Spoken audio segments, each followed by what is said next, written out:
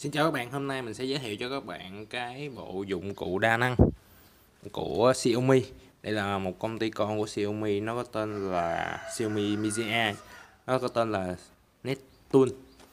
Đây là thông số của nó thì chiều dài, chiều rộng, chiều ngang của nó đây. Và nó không có ghi trọng lượng thì mình cũng có cân thử á, thì nó sẽ nặng khoảng 300g.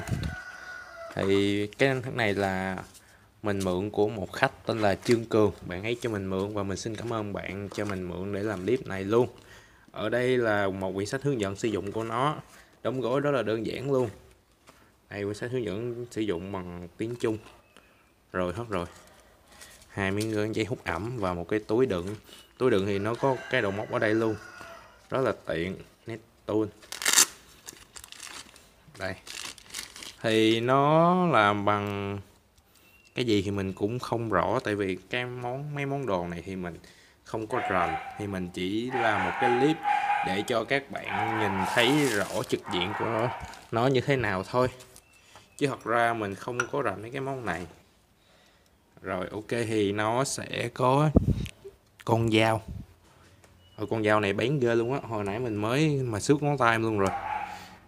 Cực kỳ bén luôn để mình thử cho bạn xem ở đây mình sẽ có một cái hộp cạc tông. Mình, cái hộp này thì mình hay để gói đồ hàng hóa của mình á.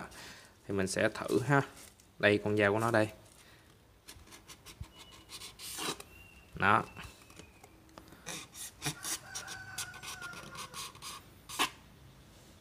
Rất là bén luôn đó. Rồi, đây là con dao. Không có dám rớ nó vô đâu. Rồi, ở bên đây là nó sẽ có một cái cưa cưa này thì à, mình thấy nó quảng cáo á là sẽ cưa được gỗ. Để mình thử trên tay thử xem.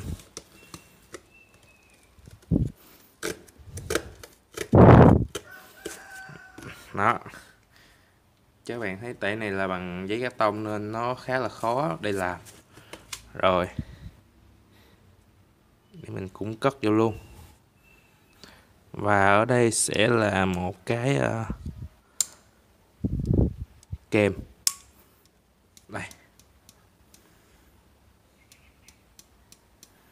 Nó một cái kèm mà bấm và cắt ở đây luôn, cắt kẽm ở đây luôn này rồi, ở đây là sẽ có hai cái ốc vít có hai đầu. Để mình lấy ra trước cho bạn xem. Ở đây là sẽ đầu à, mình không biết gọi là đầu gì nữa nói chung gọi nó là đầu vặn ốc đi. Còn đầu này cũng vặn ốc nhưng mà ốc dẹp. Mình không có chuyên môn về mấy cái này nên mình không biết đâu. Rồi. Ủa quên. Đây đầu vặn ốc thì các bạn bỏ vô đầu ở đây. Đâu rồi? Đó. Còn cái kia thì cũng giống nhau thôi. Rồi mình bỏ qua một bên ha và ở đây sẽ có một cái kìm vặn như thế này.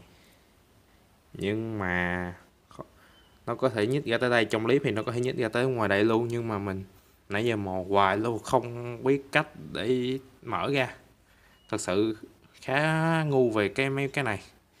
Không biết. Nên uh, nếu mà cái clip ở nên mình kết thúc clip ở đây. Nếu mà các bạn nào mà muốn mua hoặc là muốn xem tiếp á thì phần sau mình sẽ để bạn cứ xem tiếp tục ở đây, mình sẽ coi cho các bạn clip hướng dẫn của nó. Các bạn muốn mua thì số điện thoại ở đây và đây. Link mua hàng mình cũng sẽ để ở bên dưới cho các bạn xem luôn. Rồi, xin cảm ơn các bạn.